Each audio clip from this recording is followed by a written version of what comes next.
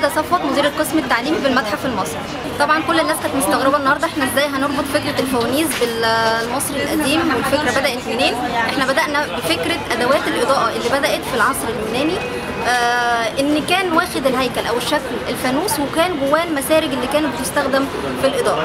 بدأنا بعد كده فكرة الشموع إزاي استخدموها برضو في فترة المسيحية وإزاي اتطور الموضوع بعد كده في العصر الإسلامي وارتبط فكرة الفانوس إزاي ارتبطت برمضان؟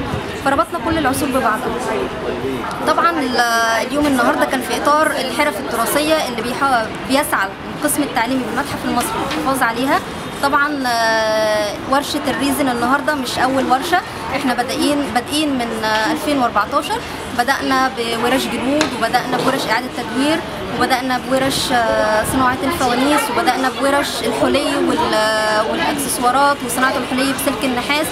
وورشة ال resin هي مادة حديثة لكن إزاي ندخلها إن إحنا نعمل منها منتج مصري قديم؟ إزاي ندخلها في الحرف التراثية؟ فإحنا بنوظف الفنون أو المواد الحديثة إن إحنا نطلع منتج مصري قديم بيحافظ على الحرف التراثية زي ورشة برضو الديكوباج عملناها. الديكوباج معروف إن هو فن الفقراء وإن إحنا بنستخدم منتجات قديمة أو بنستخدم مواد رخيصة في ان إحنا نطلع منتج برضو مصري قديم. طبعا لازم المنتج اللي عندي يطلع ليه علاقة بالحضارة أو الفن المصري القديم لأن إحنا موجودين في المتحف المصري.